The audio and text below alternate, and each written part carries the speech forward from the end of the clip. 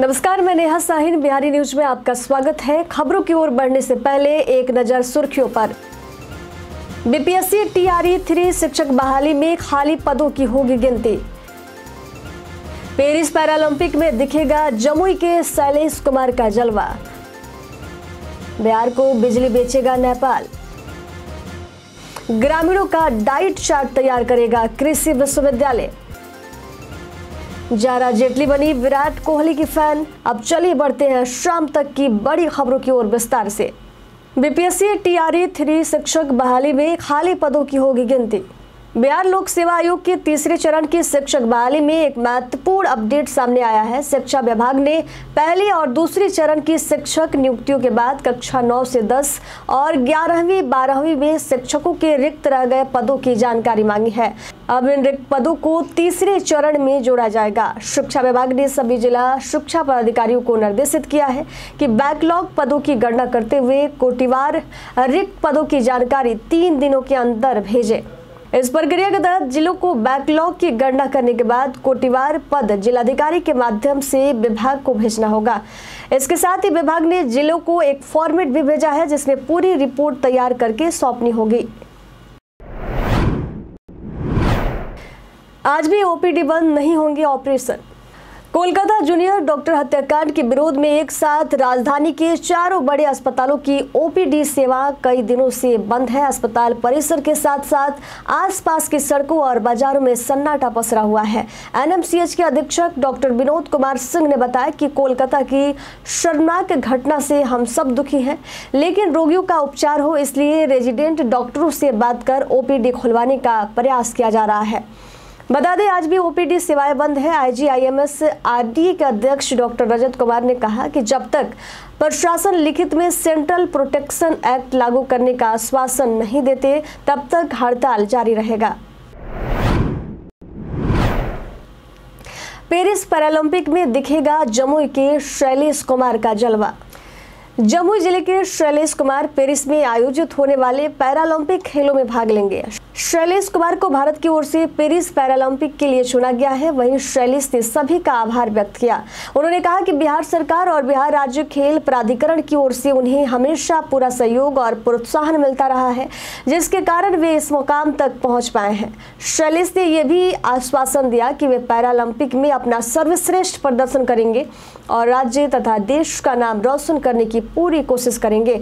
तो एक बार फिर जमुई के शैलेश कुमार ने साबित किया है कि समर्पण और मेहनत के बल पर कोई भी सपना साकार किया जा सकता है। कहीं लाल निशान से ऊपर तो कहीं लाल निशान से नीचे रहा नदियों का जलस्तर।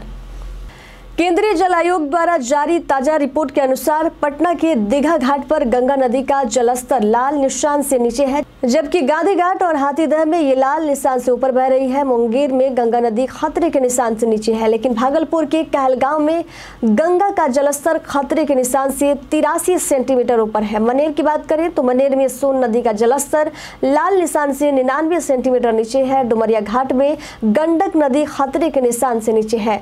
खगड़िया में बूढ़ी गंडक नदी अपने लाल निशान से तिहत्तर सेंटीमीटर ऊपर बह रही है।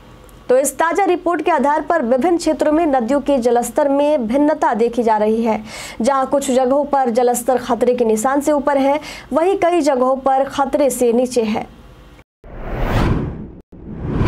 बिहार को बिजली बेचेगा नेपाल भारत ने नेपाल को दो सौ इक्यावन मेगावाट अतिरिक्त बिजली निर्यात करने की अनुमति दे दी है। ये पहली बार है जब नेपाल बिहार को मध्यम अवधि के बिक्री समझौते के तहत बिजली आपूर्ति करेगा।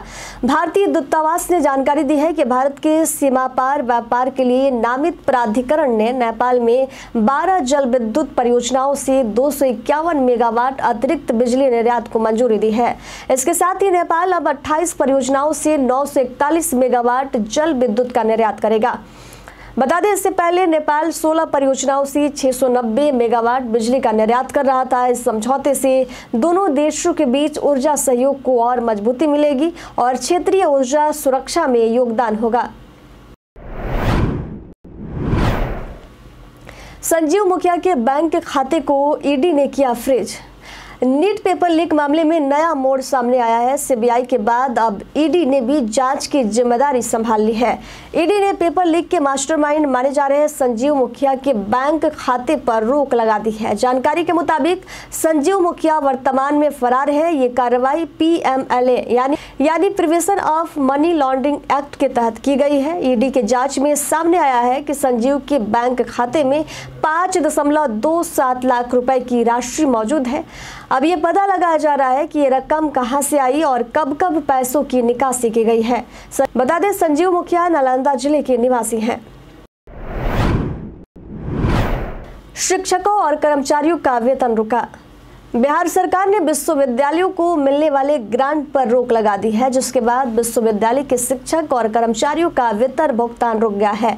जुलाई महीने का वेतन अब तक नहीं मिला है। शिक्षा सचिव बैद्यनाथ यादव ने डॉक्टर एस सिद्धार्थ के आदेश पर यह निर्णय लिया है। शिक्षा विभाग ने विश्वविद्यालय के कुलपतियों को सूचित किया है कि वे पे रोल मैनेजमेंट पोर्टल पर शिक्षक, शिक्षकेतर, कर्मियों, पेंशन और अतिथि शिक्षकों से संबंधित डाटा अपलोड करें।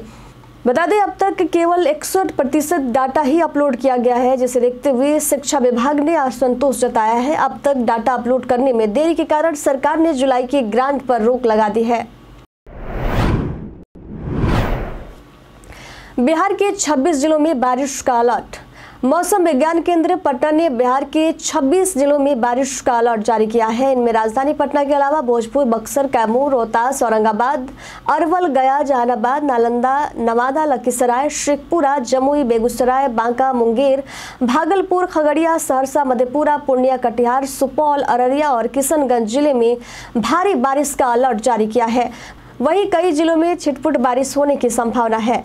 मौसम विभाग के अनुसार दक्षिण बांग्लादेश और उसके आसपास के इलाकों में निम्न दबाव के क्षेत्र बना हुआ है, जिसके कारण चक्रवर्ती परिसंचरण का क्षेत्र बना है।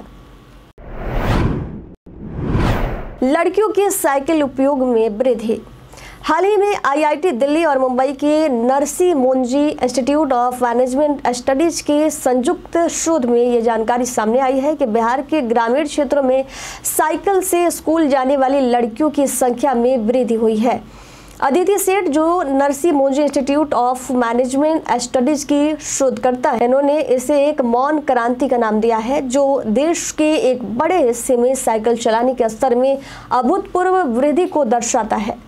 शोध के दौरान प्राप्त आंकड़ों से ये भी स्पष्ट हुआ है कि साइकिल वितरण योजनाएँ ने इस वृद्धि को प्रोत्साहित किया है। इन योजनाओं के लागू होने से सबसे बड़े लाभार्थी ग्रामीण लड़कियाँ साबित हुई हैं, जो अब साइकिल का इस्तेमाल कर स्कूल जाने लगी हैं। ग्रामीणों का डाइट चार्ट तैयार करेगा कृषि विश्वविद्यालय। बिहार कृषि विश्वविद्यालय ने एक विशेष कुपोषण उन्मूलन कार्यक्रम की शुरुआत की है, जिसके तहत राज्य के 28 गाँव में लोगों का सर्वे किया गया है। इन गाँवों में कुपोषित बच्चों और वयस्कों को चिन्हित कर उनके कुपोषण को दूर करने के लिए ठोस कदम उठाए जाएँगे। कुलपति डॉक्टर डी आर सिंह ने इस पहल के बारे में जानकारी दी है। दरअसल, लोगों के पास समय नहीं रहने के कारण सही समय पर भोजन नहीं कर पाते हैं, जिसकी वजह से कुपोषण का शिकार हो जाते हैं। वैसे में विश्वविद्यालय रेडीमेड मोटे अनाज का बना भोजन तैयार करने की व्यवस्था कर रहा है। खेल दिवस पर सम्मान समारोह का होगा आयोजन। खेल दिवस के खास मौके पर बिहार में एक खास आयोजन होने जा रहा है। इस बार बिहार में दो प्रमुख स्थानों पर खेल सम्मान समारोह का आयोजन किया जाएगा। 29 अगस्त को राजगीर में स्थित नवनिर्मित खेल अकादमी में और 5 सितंबर को पटना के ज्ञान भवन में ये समारोह आयोजित किए जाएँगे। राजगीर के समारोह में इंटरनेशनल मेडलिस्ट और विभिन्न पार्टिसिपेंट्स को सम्मानित किया जाएगा। वही पटना में ज्ञान भवन में अन्य खिलाड़ियों को उनके उत्कृष्ट प्रदर्शन के लिए सम्मानित किया जाएगा। जाएगा। इस खास अवसर पर, इस खास अवसर पर पेरिस ओलंपिक के मेडलिस्ट श्रीजेश भी बिहार आएँगे। बिहार राज्य खेल प्राधिकरण के महानिदेशक रविंद्रन शंकरन ने ये जानकारी दी है।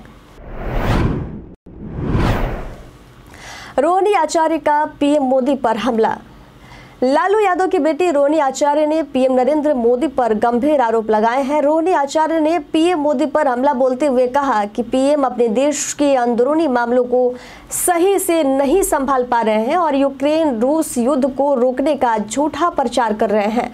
उन्होंने विशेष रूप से जम्मू कश्मीर में हाल ही की आतंकवादी घटनाओं की बढ़ती संख्या की ओर इशारा करते हुए चिंता जताया। कहा कि जम्मू कश्मीर में आतंकवाद अपने चरम पर है और हाल के दिनों में आतंकी हमलों में अप्रत्याशित वृद्धि हुई है। उन्होंने केंद्र सरकार और प्रधानमंत्री द्वारा आतंकवाद पर काबू पाने के दावों की हकीकत को पूरी दुनिया के सामने उजागर करने का आरोप लगाया। गोपाल मंडल के खिलाफ धमकी का केस दर्ज, जाँच जारी।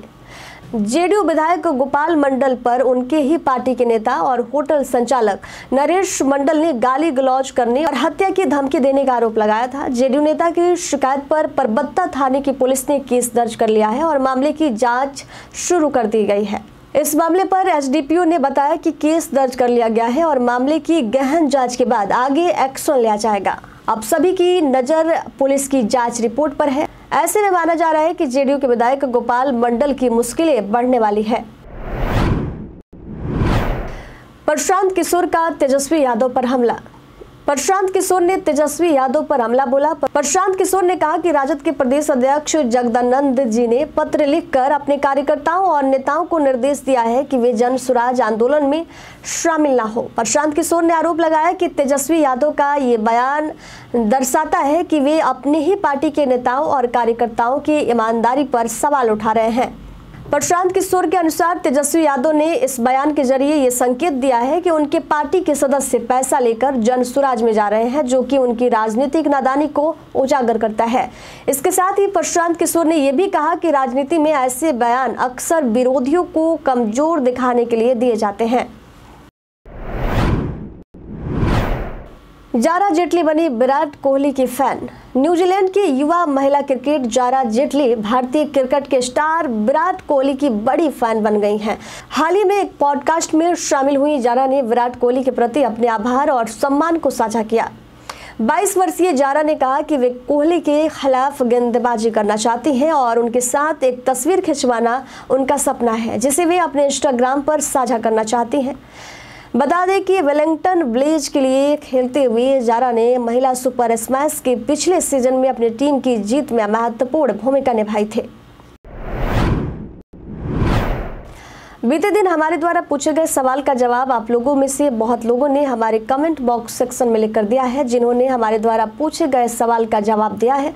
उनके नाम है अर्जुन राम राम अवतार, प्रसाद, सुभाष ठाकुर, अनवर करीम खान, राकेश मिश्रा, सादुल्लाह पलवी रंजन कुमार। इसी के साथ बढ़ते हैं आज के सवाल की ओर। आज का सवाल है, आपका पसंदीदा खेल क्या है?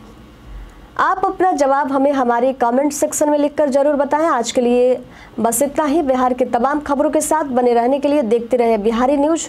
और साथ ही अगर आप यूट्यूब चैनल पर देख रहे हैं तो चैनल को सब्सक्राइब करें। और अगर आप फेसबुक पेज पर देख रहे हैं तो लाइक और फॉलो ज़रूर करें। धन्यवाद।